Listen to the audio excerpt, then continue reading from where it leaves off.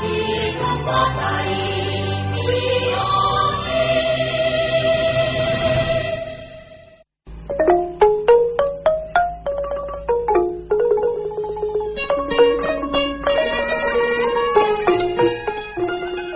ជំរាបសួរលោកអ្នកនាងដែលកំពុងស្ដាប់ព័ត៌មានរបស់ VD ជាទីមិត្តរីមេតិការព័ត៌មានសម្រាប់ថ្ងៃអង្គារទី30ខែឧសភាឆ្នាំ2017នេះរួមមានរដ្ឋាភិបាលប្រកាសចាប់ខ្លួនមេខ្លោងរកស៊ីបោកប្រាស់ប្រជាពលរដ្ឋខណៈចិត្តបោះឆ្នោតអង្គការលើកលែងទោសអន្តរជាតិថាលោកហ៊ុនសែនប្រើប្រព័ន្ធយុតិធធកំចាត់អ្នករិះគន់ រួមទាំងព័ត៌មានមួយចំនួនទៀតនឹងជម្រាបជូនលោកអ្នកនាងស្ដាប់ជាបន្តបន្ទាប់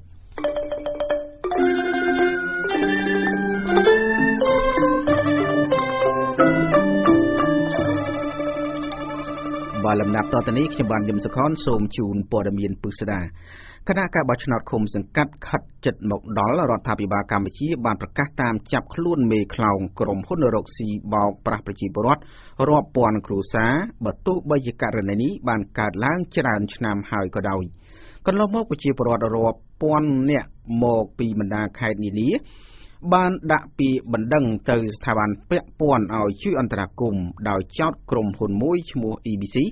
និងអ្នកពាក់ព័ន្ធ ថាបោកប្រាស់លុយពួកគាត់រាប់លានដុល្លារលោកខុតសុគន្ធរីកាបន្ថែម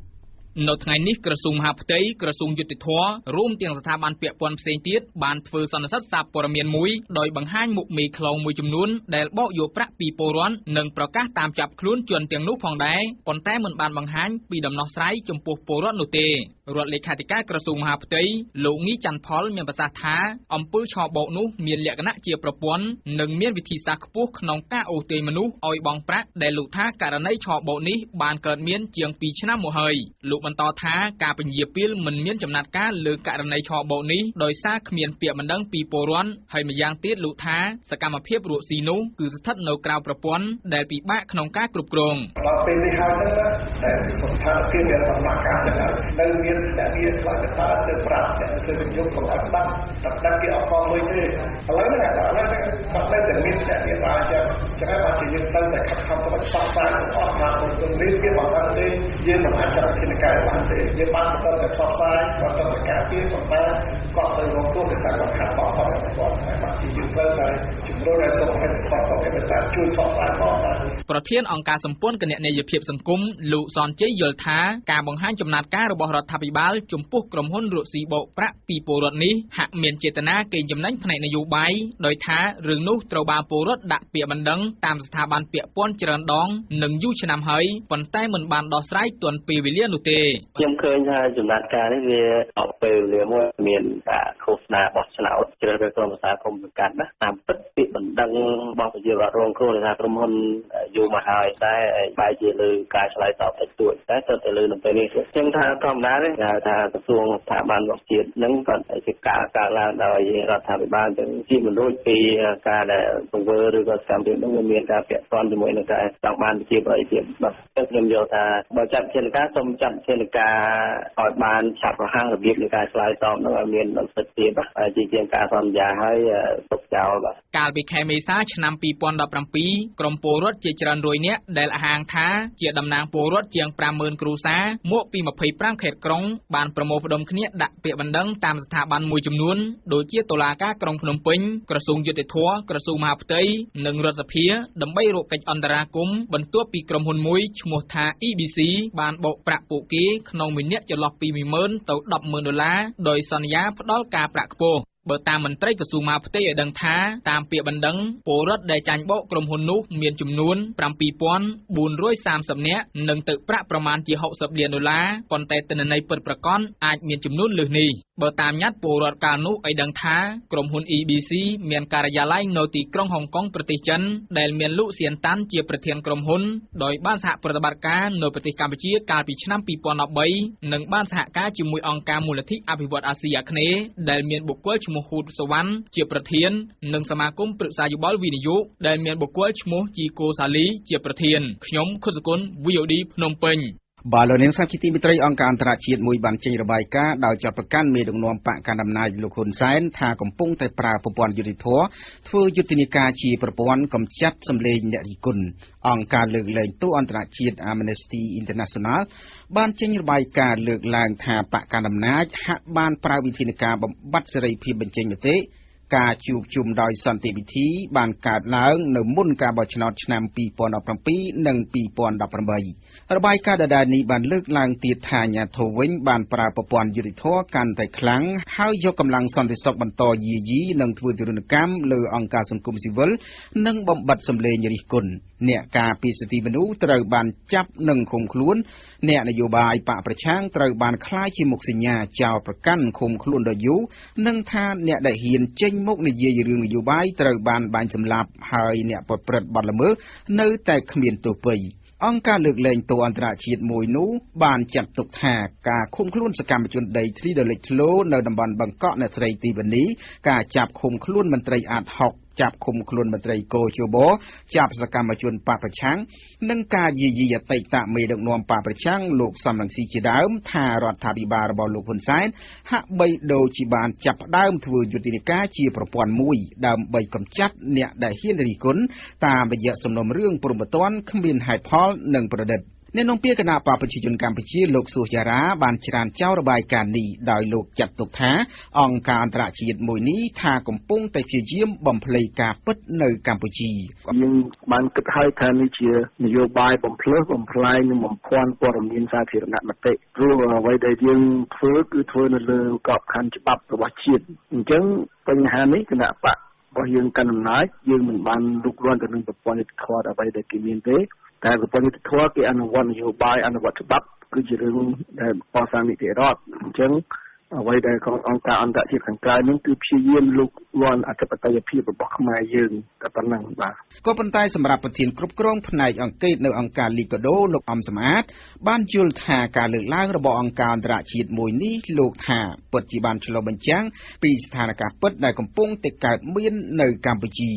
លោកជំរុញឲ្យមន្ត្រីរដ្ឋាភិបាលគួរតែរៀនទទួលយកការពិត ទៅធ្វើកំណែតម្រង់ជាជាងប្រតិកម្មដោយការពីភាពអសកម្មរបស់ខ្លួនហើយទុកបញ្ហាឲ្យនៅបន្តរីកធំក្នុងសង្គមខ្មែរជាងរដ្ឋជាភាគីត្រូវតែមានកាតព្វកិច្ចក្នុងការអនុវត្តទៅតាមបទដ្ឋានអន្តរជាតិនឹងឲ្យបាននិងស្របតាមរដ្ឋធម្មនុញ្ញដើម្បីធានានឹងលើកកម្ពស់ក៏ដូចជាការគោរពសិទ្ធិមនុស្សនិងអនិច្ចរដ្ឋនៅកម្ពុជាអានឹងបានប្រទេសយើងនឹងវាគេចផុតពីការរិះគន់បាន ទោះជាយ៉ាងណាអង្គការលើកលែងទោសអន្តរជាតិបានផ្ដល់អនុសាសន៍ឲ្យបកកណ្ដាលអំណាចឈប់ប្រើប្រព័ន្ធយុតិធធបង្ក្រាបសម្លេងអ្នករិះគន់និងអំពាវនាវឲ្យទម្លាក់ចោលបទចោទប្រកាន់ទៅលើមន្ត្រីសិទ្ធិមនុស្សសកម្មជនដីធ្លីនិងមន្ត្រីបកប្រឆាំងដែលកំពុងតែជាប់ឃុំនិងជំរុញឲ្យរដ្ឋាភិបាលត្រូវធានាថាស្ថាប័នតុលាការជាស្ថាប័នឯករាជ្យ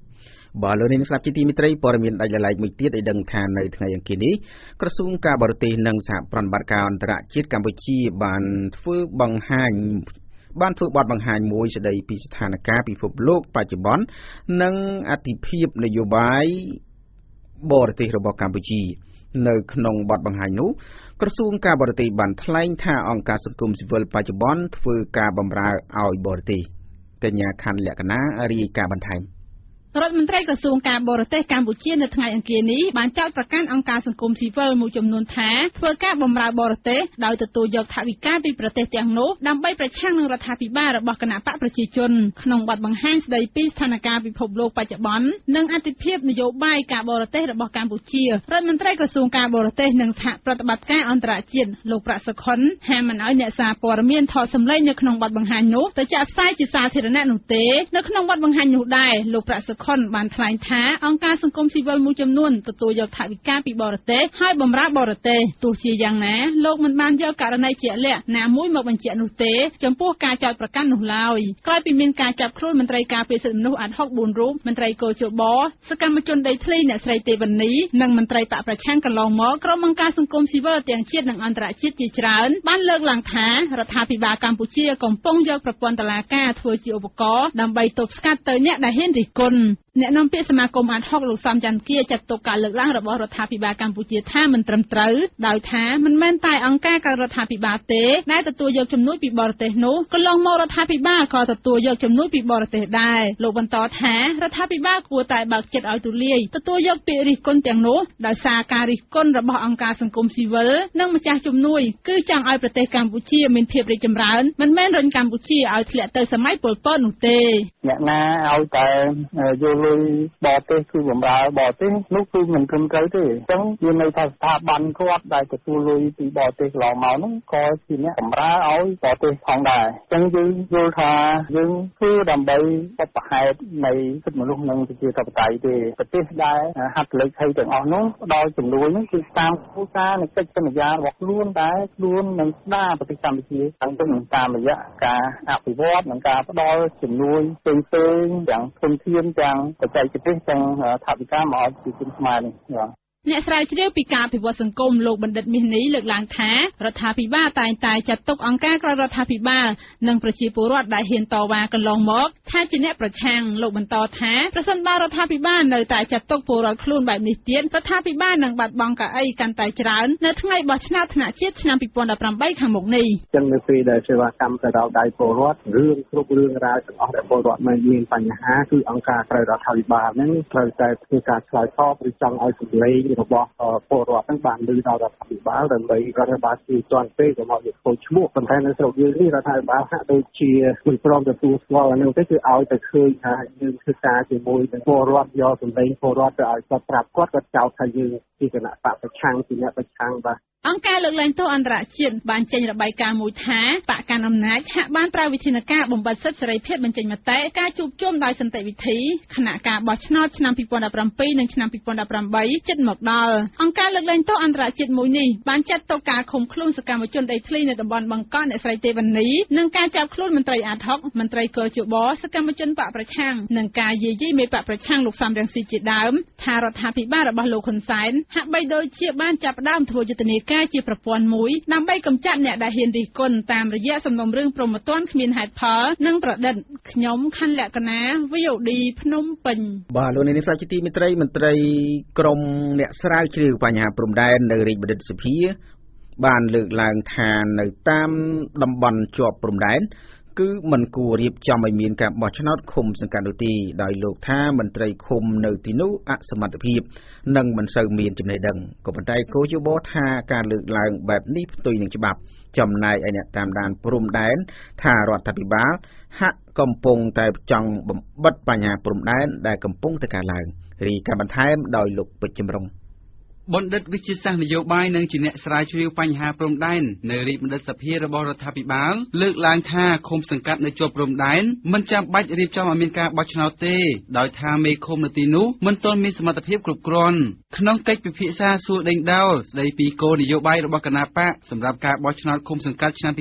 2017នៅវិទ្យាស្ថានរាជបណ្ឌិតសភា កាលពីថ្ងៃម្សិលមិញដោយឆ្លើយនឹងសំណួរអ្នកសម្របសម្រួលពាក់ព័ន្ធនឹងការបែងចែកថវិកាទៅឃុំសង្កាត់លោកសុកទូចប្រធានក្រុមអ្នកស្រាវជ្រាវកិច្ចការព្រំដែនរបស់រដ្ឋាភិបាល មានប្រសាសន៍ថាឃុំសង្កាត់មួយចំនួនដែលជាប់តំបន់ព្រំដែនលោកថាយកល្អពុំចាំបាច់រៀបចំឲ្យមានការបោះឆ្នោតទេដោយថាមន្ត្រីឃុំសង្កាត់នៅទីនោះមានកម្រិតអប់រំទាបខ្វះធនធានមនុស្សនិងមិនទាន់មានសមត្ថភាពអាចអនុវត្តកម្មវិធីនយោបាយឃុំសង្កាត់ឲ្យមានប្រសិទ្ធភាពដោយខ្លួនឯងឡើយលោកលើកឡើងថារដ្ឋាភិបាលឬរដ្ឋសភាគួរបោះឆ្នោតជ្រើសរើសមេឃុំសង្កាត់តាមតំបន់ជាប់ព្រំដែនទាំងនោះទើបជាការល្អ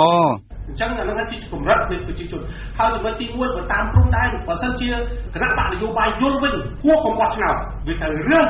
មានឃុំដោយសភាឬក៏ដោយរដ្ឋាភិបាលទៅដាក់ពីព្រោះវាត្រូវការអីវាត្រូវការរៀបចំភាពរឹងមាំនៅចំចំណុចហ្នឹងអ្នកនាំពាក្យគណៈកម្មាធិការជាតិរៀបចំការបោះឆ្នោតលោកខងពុធាច្រានចោលការលើកឡើងនេះដោយថាតាមច្បាប់ឃុំសង្កាត់ទាំងអស់ត្រូវរៀបចំឲ្យមានការបោះឆ្នោតកោជបធ្វើការរៀបចំការបោះឆ្នោតដោយផ្អែកទៅលើច្បាប់ណាហើយច្បាប់ឲ្យរៀបចំការបោះឆ្នោតទោះបីជាឃុំសង្កាត់នឹងនៅទីណាក៏ដោយព្រំដែនក៏ដោយនៅក្នុងកណ្ដាលកណ្ដាលប្រទេសក៏ដោយអ្នកដែលមានយោបល់មតិក្រៅពីនោះនោះគឺជាមតិដោយឡែករបស់គាត់ទេបាទ នាយកប្រតិបត្តិអង្គការ Netflix លោកសំគុណធីមីយល់ថាការលើកឡើងនេះផ្ទុយនឹងច្បាប់ដែលតម្រូវឲ្យមានការបោះឆ្នោតនៅតាមឃុំសង្កាត់ទាំងអស់ទូទាំងប្រទេសកម្ពុជាលោកថាចំពោះសមត្ថភាពរបស់មេឃុំតាមតំបន់ព្រំដែនគឺវាអាស្រ័យលើគណៈបកដែលដាក់បេក្ខជន និងពលរដ្ឋដែលជាអ្នកបោះឆ្នោតជ្រើសរើសមិនមែនរដ្ឋាភិបាលឬរដ្ឋាភិបាលនោះទេ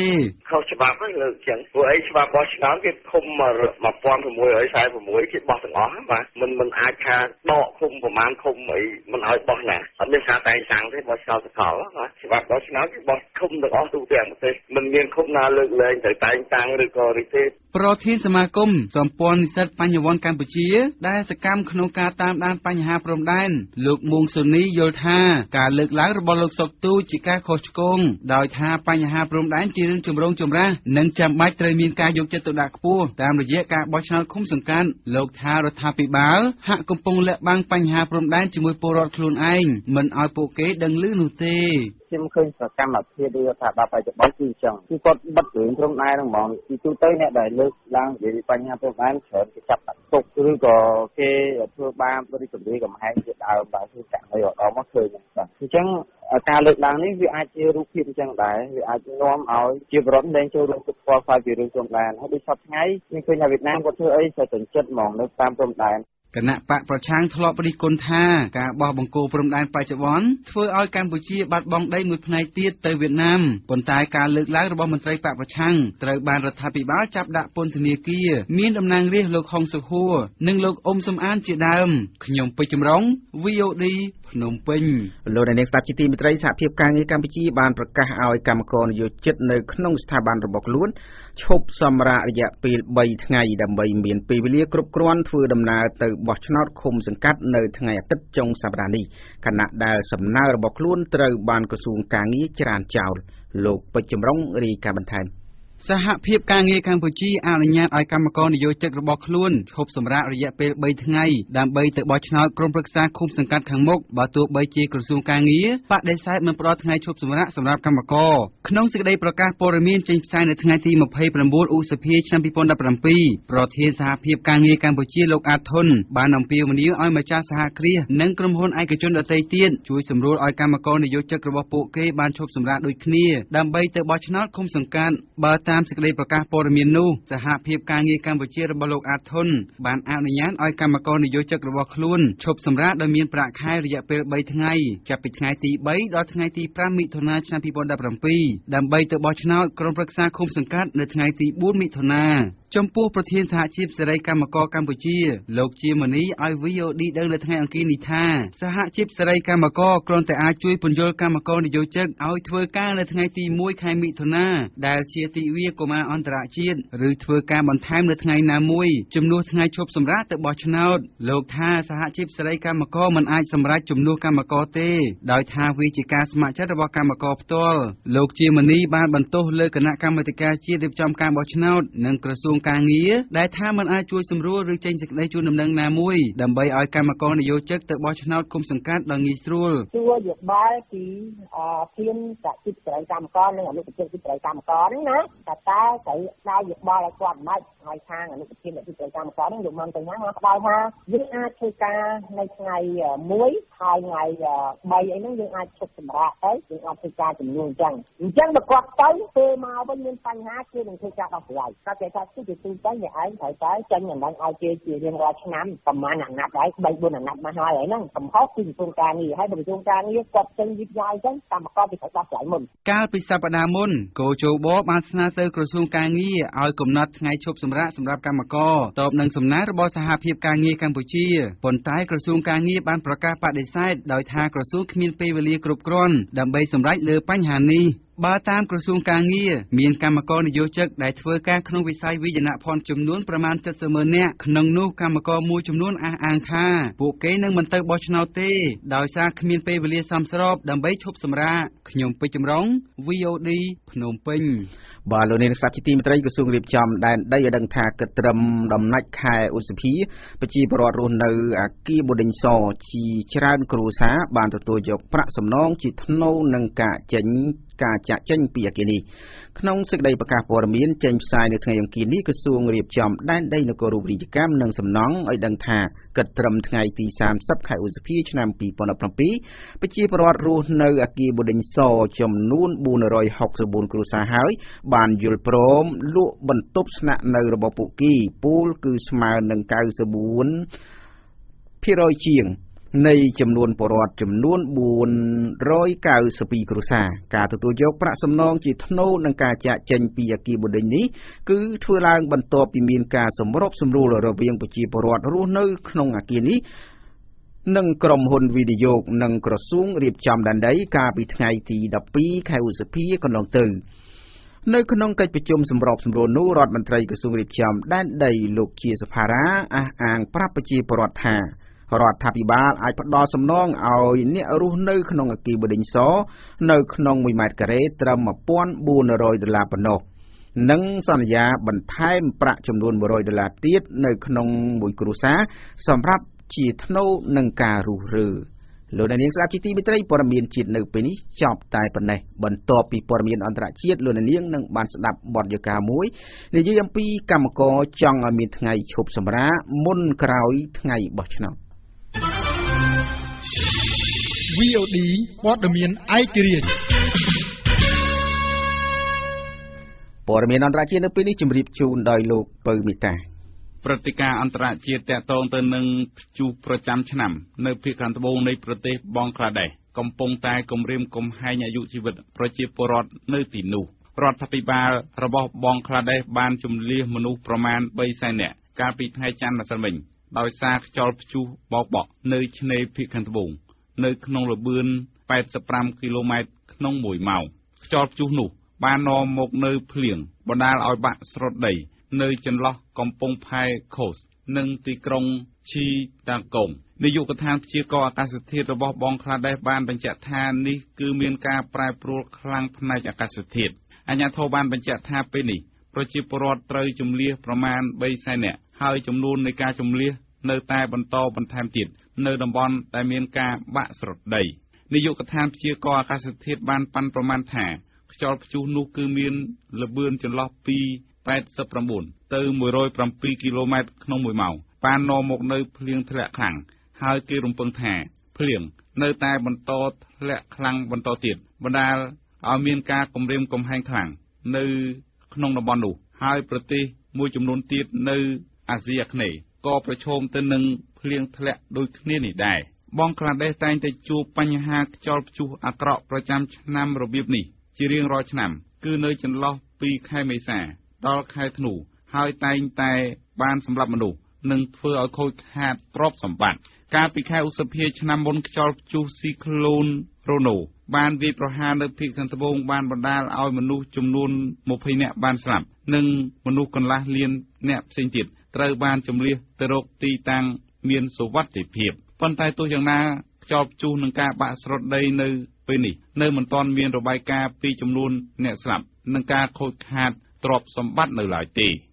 ព្រឹត្តិការណ៍អន្តរជាតិមួយទៀតតាក់ទងទៅនឹងវិធានការនៃការទប់ស្កាត់អំពើភេរវកម្មនៅក្នុងប្រទេសឥណ្ឌូនេស៊ីប្រធានាធិបតីឥណ្ឌូនេស៊ីលោកជូកូវីនដូដូបានស្នើទៅកាន់យោធាឲ្យចាប់ផ្ដើមបង្កើនវិធានការផ្សេងៗដើម្បីប្រយុទ្ធប្រឆាំងពួកភេរវកម្ម ដែលកំពុងគំរាមកំហែងខ្លាំងដល់សន្តិសុខជាតិនិងនៅក្នុងតំបន់លោកថ្លែងថាអំណាចរបស់ក្រមកម្លាំងប្រដាប់អាវុធប្រឆាំងអំពើភេរវកម្មមានចែងសិទ្ធិនៅក្នុងច្បាប់លោកថ្លែងបែបនេះនៅក្នុងកិច្ចប្រជុំគណៈរដ្ឋមន្ត្រីនៅក្នុងទីក្រុងបូហ្គោនៅភាគខាងលិចនៃរដ្ឋធានីចាកាតា នៅក្នុងឱកាសនោះអ្នកសម្របសម្រួលគណៈរដ្ឋមន្ត្រីដើម្បីការងារច្បាប់នយោបាយនិងសន្តិសុខបានបញ្ជាក់ថា បញ្ហាសន្តិសុខប្រឆាំងអំពើភេរវកម្មមានការរៀបចំរួចរាល់អស់ហើយនេះបើតាមសារព័ត៌មាន Channel New Asia រដ្ឋមន្ត្រីគ្រប់គ្រងផ្នែកសន្តិសុខលោកវិរន្ទូបានថ្លែងការពីថ្ងៃអាទិត្យថាអ្វីអ្វីគ្រប់យ៉ាងរៀបចំអស់ហើយនឹងមានការផ្ទៀងផ្ទាត់ច្បាស់លាស់ទៅលើវិធានការនៃការទប់ស្កាត់អំពើភេរវកម្មនៅក្នុងប្រទេសនេះការពង្រឹងអំណាចរបស់ក្រមសន្តិសុខគឺអាចនឹងធ្វើការត្រួតពិនិត្យនិងធ្វើវិសោធនកម្មលើចំណុចខ្លះក្នុងច្បាប់ប្រឆាំងអំពើភេរវកម្មរបស់ឥណ្ឌូនេស៊ីដើម្បីពង្រឹងប្រសិទ្ធភាពការងារឲ្យកាន់តែខ្លាំងថែមទៀតក្នុងការបំពេញការងារនាំឲ្យមានការព្រួយបារម្ភថាអាចនឹងមានការរំលោភសិទ្ធិមនុស្សចំណែកពួកយោធានឹងមានការរំលោភបំពានសិទ្ធិអំណាច មួយចំនួន ប្រទេសឥណ្ឌូនេស៊ីក៏ជាប្រទេសមួយនៅក្នុងចំណោមប្រទេសផ្សេងផ្សេងទៀតនៅក្នុងតំបន់អាស៊ាន ដែលកំពុងរងការគំរាមកំហែងខ្លាំងពីពួកក្រុមភេរវកម្មគឺពួកក្រុម IS ពាក់ព័ន្ធទៅនឹងអំពើភេរវកម្មនេះដែរនៅភាគខាងត្បូងនៃប្រទេសហ្វីលីពីនគឺពួកកងទ័ពអះអាងថាពួកគេបានក្តោបក្តាប់ទីក្រុង ដោយដណ្ដើមវិញពីពួកឧទាមបានហើយ កងទ័ពរបស់ហ្វីលីពីនអះអាងថាពួកគេបានគ្រប់គ្រងទីក្រុងម៉ារ៉ាវី នៅភាគខាងត្បូងទាំងស្រុងវិញ បន្ទាប់ពីការច្បាំងជាមួយពួកក្រុម IS ជិតមួយសប្តាហ៍មកនេះ ហើយអះអាងថាការផ្ទុះអាវុធអាចនឹងត្រូវបញ្ចប់នៅពេលឆាប់ៗខាងមុខនេះការផ្ទុះអាវុធរវាងកងទ័ពរបស់រដ្ឋាភិបាលហ្វីលីពីន និងពួកឧទាមដែលមានការជួយរៀបចំពីពួកក្រុម IS ប្រមាណមួយសប្តាហ៍មកនេះបានបណ្ដាលឲ្យមនុស្ស ប្រមាណ100នាក់បានស្លាប់ក្នុងនោះក៏មានជនស៊ីវិលប្រមាណ20នាក់ផងដែរកងទ័ពហ្វីលីពីនបានបញ្ជាក់ថាពួកគេបានគ្រប់គ្រងទីក្រុងម៉ារ៉ាវីនេះបានទាំងស្រុងហើយគឺនៅសល់តែកន្លែងខ្លះៗនៅក្បែរទីក្រុងតែប៉ុណ្ណោះតែត្រូវការរៀបចំសន្តិសុខសម្រាប់ធ្នាប់បន្ថែមទៀតក្នុងការដណ្ដើមយកមកវិញពីពួកក្រុមឧទាមហើយអាចនឹងបញ្ចប់ការផ្ទុះអាវុធនៅពេលឆាប់ៗខាងមុខនេះនេះបើតាមសារព័ត៌មាន Channel New Asia កាលពីសប្តាហ៍មុនពួកឧទាមបានវាយលុកចូលក្នុងទីក្រុងម៉ារ៉ាវី ស្ថិតនៅក្នុងសម្ព័ន្ធកោះមិនដាណាវហើយបានចាប់មនុស្សធ្វើជាចំណាត់ខ្មាំងនិងលុកលុយនៅក្នុងក្រុងក្រុមនោះក៏បានសម្លាប់កងទ័ពរបស់រដ្ឋាភិបាលហ្វីលីពីនមួយចំនួនផងដែរ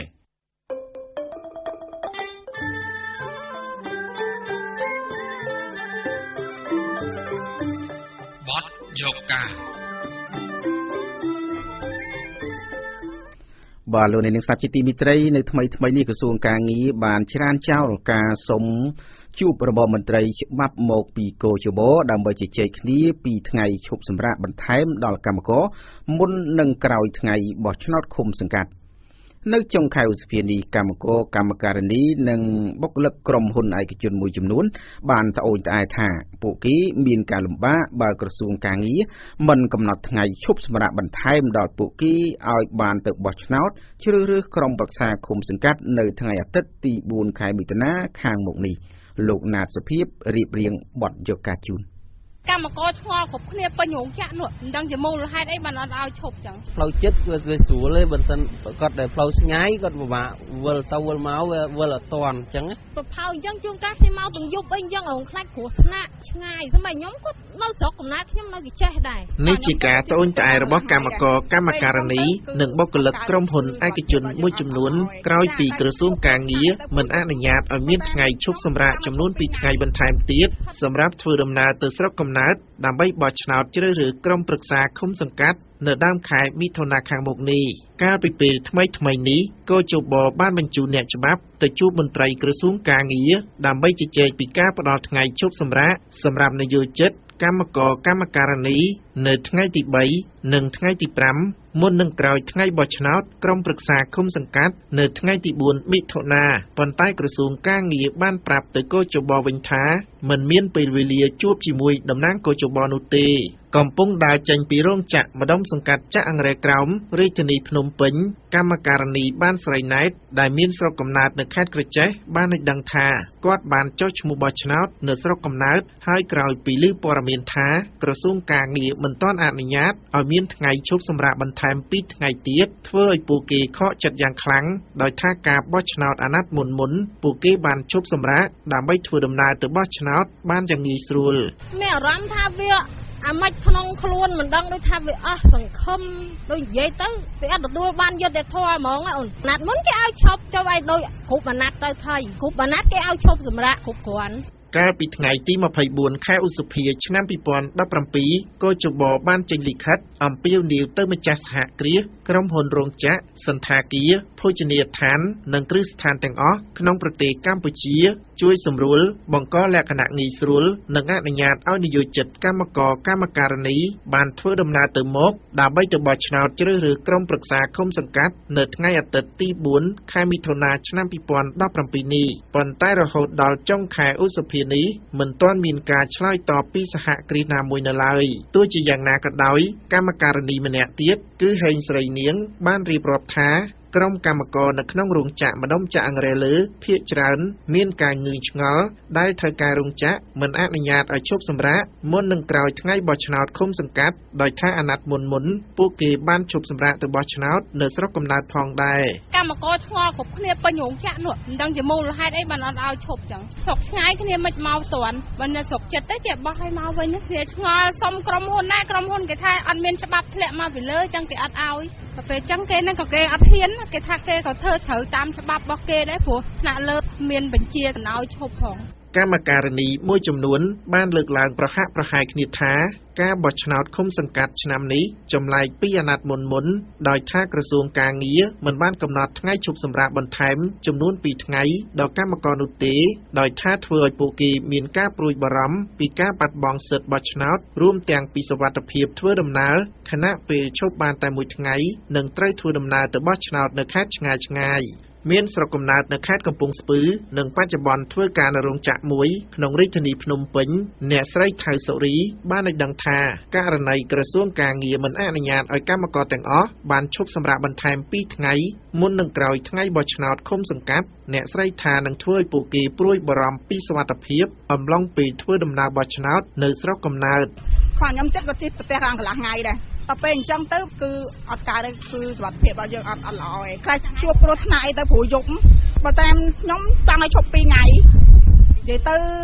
សុខភាពយើងទាំងអស់គ្នាផង មានស្រុកកំណើតនៅខេត្តបាត់ដំបងលោកទូតសុផាន់និងបច្ចុប្បន្នធ្វើការនៅក្រុមហ៊ុនឯកជននៅរាជធានីភ្នំពេញយល់ឃើញថាការមិនអនុញ្ញាតឲ្យមានថ្ងៃឈប់សម្រាកបន្ថែមសម្រាប់កម្មករនិងបុគ្គលិកក្រុមហ៊ុនឯកជនមួយចំនួនដើម្បីបង្កលក្ខណៈងាយស្រួលឲ្យពួកគេបានទៅបោះឆ្នោតខាងមុខនោះជារឿងអយុត្តិធម៌ដោយថាពួកគេជាពលរដ្ឋខ្មែរត្រូវទទួលបានសិទ្ធិពេញលេញក្នុងការជ្រើសរើសថ្នាក់ដឹកនាំដែលខ្លួនពេញចិត្តខ្ញុំគិតថាមានភាពអយុត្តិធម៌សម្រាប់បុគ្គលិកឯកជនអញ្ចឹងចិត្តបោះឆ្នោតអញ្ចឹងគួរតែមានការឈប់សម្រាករយៈពេល2ថ្ងៃឬក៏3ថ្ងៃមុនថ្ងៃរៀបចំការបោះឆ្នោតហ្នឹងដើម្បីគាត់ហ្នឹងបានលទ្ធភាពអាចធ្វើដំណើរទៅតាមស្រុកតាមខេត្តដែលគាត់នៅជិតទៅឆ្ងាយហ្នឹងបើគាត់បានចូលរួមក្នុងការបោះឆ្នោតហ្នឹងឲ្យបានទាន់ពេលវេលាដើម្បីជ្រើសរើសក្រុមប្រឹក្សាឃុំសង្កាត់ដែលគាត់ស្រឡាញ់ ទោះជាយ៉ាងណាលោកទូតសុផាន់បានបញ្ជាក់ថាបើក្រសួងការងារមិនអនុញ្ញាតឲ្យពួកគេបានឈប់សម្រាកមុននឹងក្រោយថ្ងៃបោះឆ្នោតក៏ដោយ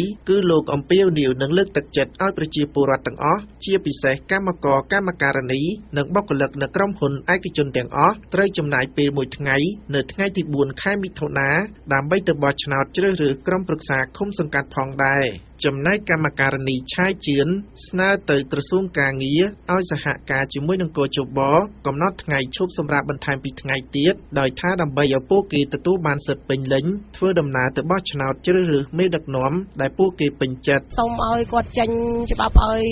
កម្មករ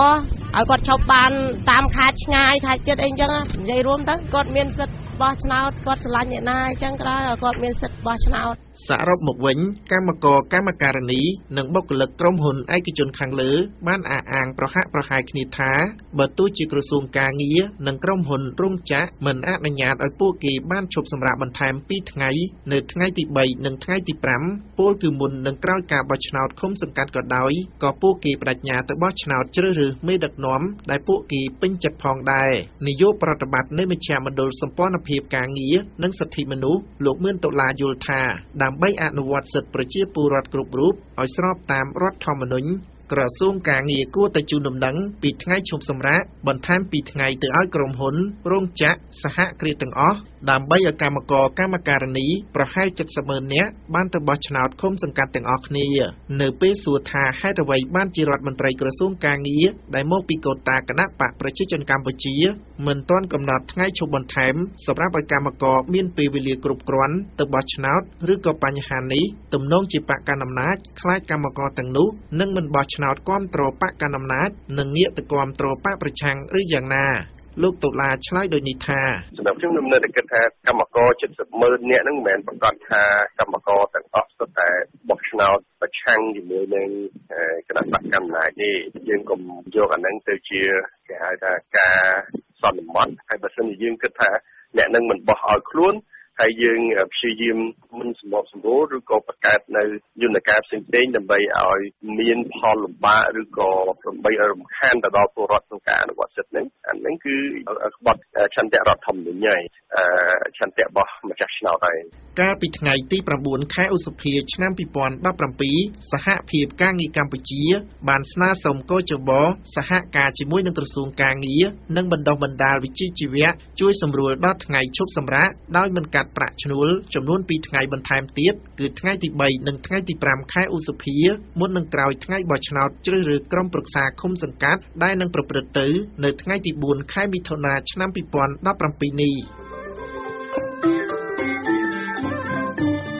ខ្ញុំណាបសុភាព VOD ភ្នំពេញបាទលោកនាងសាជាទីមិត្តរីមុននឹងបញ្ចប់ព័ត៌មាននៅថ្ងៃនេះខ្ញុំបាទសូមសង្ខេបព័ត៌មានឡើងវិញគណៈការបោះឆ្នោតឃុំសង្កាត់ចិត្តមកដល់រដ្ឋាភិបាលកម្ពុជាប្រកាសតាមចាប់ខ្លួនមេខ្លោងក្រុមហ៊ុនរកស៊ីបោកប្រាស់ប្រជាពលរដ្ឋរាប់ ពាន់គ្រួសារបើទោះបីជាករណីនេះបានកើតឡើងច្រើនឆ្នាំហើយក៏ដោយកន្លងមកប្រជាពលរដ្ឋរាប់ពាន់គ្រួសារមកពីបណ្ដាខេត្តនេះនេះបានដាក់ពីបណ្ដឹងប្តឹងទៅស្ថាប័នពាក់ព័ន្ធឲ្យជួយអន្តរាគមន៍ដោយចោទថាក្រុមហ៊ុនមួយឈ្មោះ EBC និងអ្នកពាក់ព័ន្ធមួយចំនួនបានបោកប្រាក់ពួកគេរាប់លានដុល្លារអង្គការដំឡាសន្ទុះអង្គការអន្តរជាតិអង្គការលើកលែងទោស អន្តរជាតិមួយបានចេញរបាយការណ៍លើកឡើងថាគណៈបកកណ្ដាលអំណាចហាក់បានប្រាវិធានការបំបត្តិសិទ្ធិសេរីភាពបញ្ចេញមតិការជួបជុំដោយសន្តិវិធីការកើនឡើងមុនថ្ងៃបោះឆ្នោតឆ្នាំ2017និង2018របាយការណ៍ដដែលបានលើកឡើងទៀតថាអាញាធរវិញបានប្រើប្រព័ន្ធយុតិធធកាន់តែខ្លាំងហើយយកសន្តិសុខ បន្តយីយីនិងធ្វើទរណកម្មលើអង្គការសង្គមស៊ីវិលនិងបំបិតសម្លេងអ្នករិះគន់អ្នកការពីសិទ្ធិមនុស្សត្រូវបានចាប់ឃុំខ្លួនអ្នកនយោបាយបកប្រឆាំងត្រូវបានคล้ายជាមុខសញ្ញាចោតប្រកាន់និងឃុំខ្លួនដ៏យូរនិងថាអ្នកដែលហ៊ានចេញមកនិយាយរឿងនយោបាយត្រូវបានគេបាញ់សម្លាប់ហើយអ្នកបានប្រព្រឹត្តបទល្មើសនៅតែបន្តនៅក្រៅឃុំ។ អង្គការលើកលែងទោសអន្តរជាតិមួយនោះបានចាត់ទុកថាការឃុំខ្លួនសកម្មជនដីធ្លីនៅតំបន់បង្កក់អ្នកស្រីទីវនីការចាប់ខ្លួនមន្ត្រីអាត់ហុកមន្ត្រីកោជបសកម្មជនបកប្រឆាំងនិងការយយីដល់មេបកប្រឆាំងលោកសំរងស៊ីជាដើមអង្គការនោះថាលោកហ៊ុនសែនហាក់បីដូចជាបានចាប់ផ្ដើមធ្វើយុទ្ធនាការជាប្រព័ន្ធដើម្បីកំចាត់ អ្នកដែលហ៊ានរិះគន់តាមរយៈសំណុំរឿងព្រំទណ្ឌក៏ប៉ុន្តែអ្នកនាំពាក្យគណៈបកប្រជាជនកម្ពុជាលោកសុយារ៉ាបានច្រានចោលកែរបាយការណ៍នេះដោយលោកចាត់ទុកថាអង្គការអន្តរជាតិមួយនេះកំពុងតែព្យាយាមបំភ្លៃការពិតនៅកម្ពុជា។